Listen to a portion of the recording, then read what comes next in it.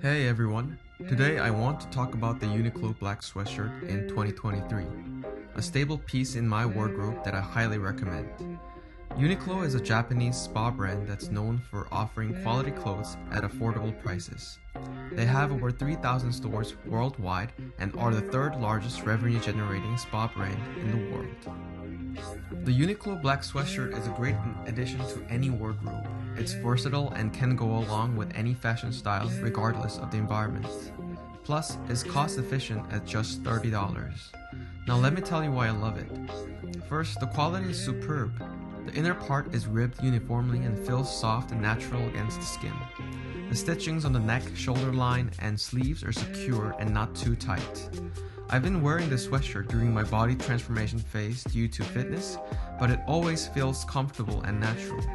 The fit is just right, not too tight and not too bulky. The overall weight is light and doesn't hinder any movement. The longevity of this sweatshirt is also impressive. I've had another sweatshirt in a different color from Uniqlo for about 3 years, and it's held up well compared to other clothing brands. The neckline and sleeves haven't gotten crinkled much, although I did notice some color fading after numerous washes. Overall, the Uniqlo black sweatshirt is a great investment. It offers quality and style at an affordable price. My experience with this brand in clothing has transformed my standard in fashion, setting the new standard of quality that a clothing piece should offer. This review will be the start of many different sweatshirts that I'm planning to review. I chose this piece initially because this is affordable and accessible to most people who's watching this video.